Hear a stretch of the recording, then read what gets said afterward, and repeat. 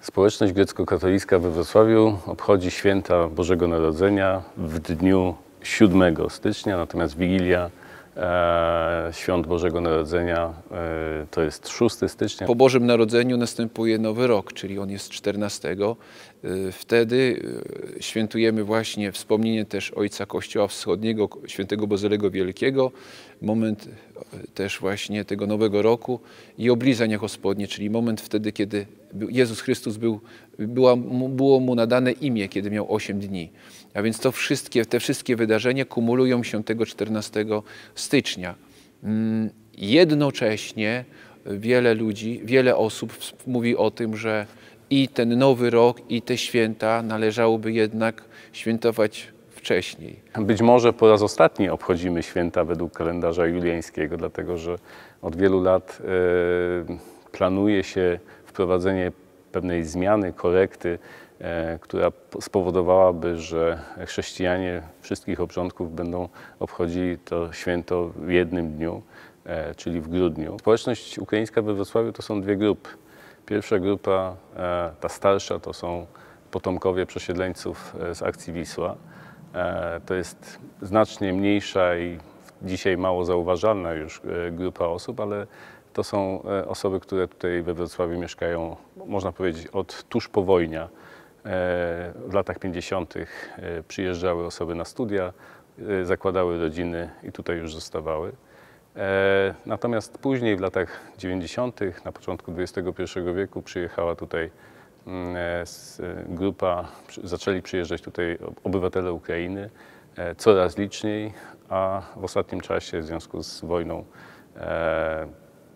szacuje się, że we Wrocławiu mieszka e, przynajmniej ponad 100 tysięcy e, Ukraińców. Ludzie, którzy tutaj przyjeżdżają, przywożą ze sobą swoje własne tradycje.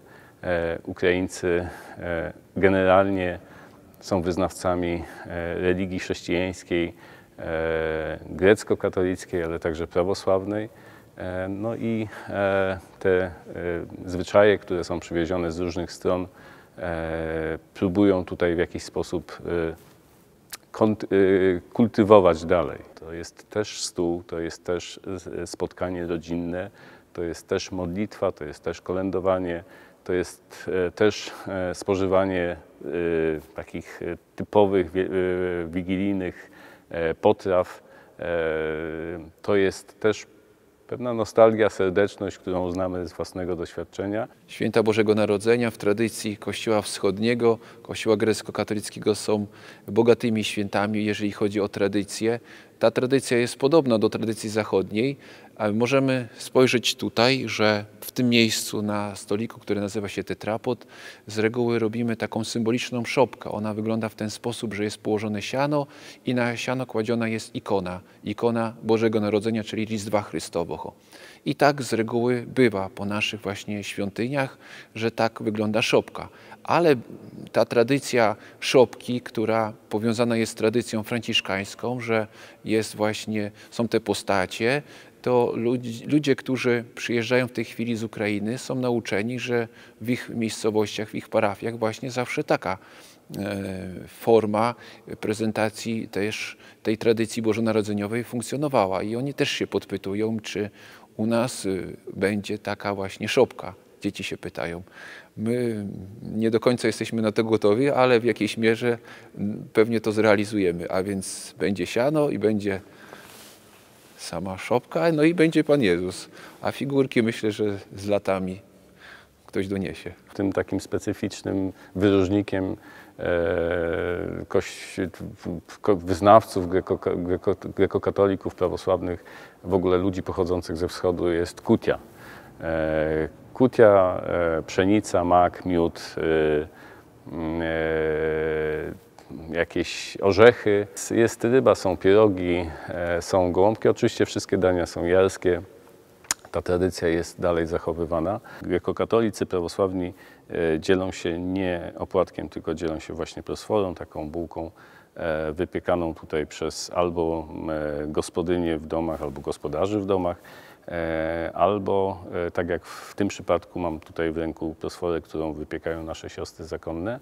E, i e, macza się tę prosforę, kawałki prosfory macza się w miodzie, E, Do, e, dodaje się e, czosnek, e, znaczy spożywa się równocześnie czosnek z solą, więc to jest takie, powiedziałbym, tak, to jest taka e, tradycja, która łączy w sobie e, i tą słodszą, i tą bardziej e, słoną część naszego, e, naszego życia. Tegoroczne święta są szczególne. E, To są święta okresu wojny, to są święta, kiedy po raz pierwszy dla wielu osób, które przybyły tutaj do Wrocławia w zeszłym roku i przybywały po lutym zeszłego roku, będą to osoby, które po raz pierwszy są zmuszone siadać do wigilijnego stołu same, siadać myśląc o swoich bliskich w Ukrainie, myśląc o swoich mężach, o swoich braciach, o swoich siostrach, którzy w tym samym czasie, kiedy tutaj świętujemy, e, są w okopach, e, walczą w obronie Ukrainy, e, walczą w obronie także Europy. I myślę, że my wszyscy powinniśmy o tym e, w tym szczególnym dniu, święta Trzech Króli, jeśli chodzi o ten nasz kalendarz, a święta e, Bożego Narodzenia, jeśli chodzi o kalendarz grecko-katolicki, po prostu pamiętać. Już świętowaliśmy Boże Narodzenie, świętowaliśmy Nowy Rok i jeszcze nie świętowaliśmy Bożego Narodzenia, ale ta atmosfera udziela się nam wszystkim i wszyscy jakby patrzymy się na to, że chcielibyśmy zacząć pewien etap życia od nowa, czy jako popatrzeć się na te sprawy od nowa, a więc też i sobie i wszystkim chciałbym właśnie to życzyć, żeby mieć tą zdolność, żebyśmy otworzyli w sobie, w swoim życiu, w- w swoim otoczeniu y, tą rzeczywistość dziecka, że każdy z nas był i pozostaje nadal dzieckiem. To jest niesamowicie potrzebne dla każdego z nas. I tego sobie i wszystkim Państwu życzę. Chrystus рождається, славім Його.